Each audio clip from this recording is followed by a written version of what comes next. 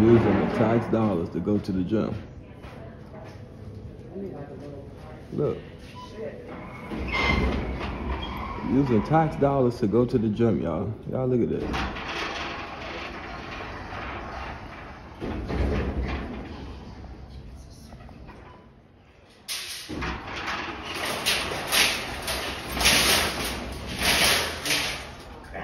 you got it. Hey.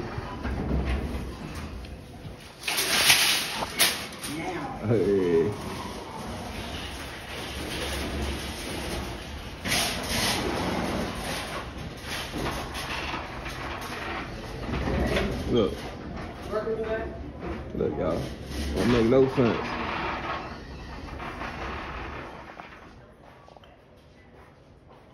You out here using your work card to come to the gym. Ain't that about something? T21. Using your work card to come to the gym. That's crazy.